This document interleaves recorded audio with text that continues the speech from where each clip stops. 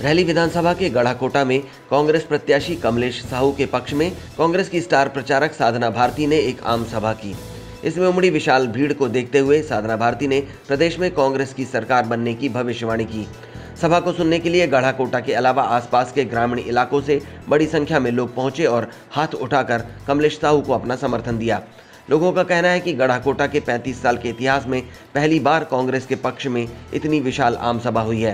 कांग्रेस की सबसे कम उम्र की स्टार प्रचारक विदुषी साधना भारती ने कहा कि 14 सालों के बाद मध्य प्रदेश में कांग्रेस का वनवास खत्म होने जा रहा है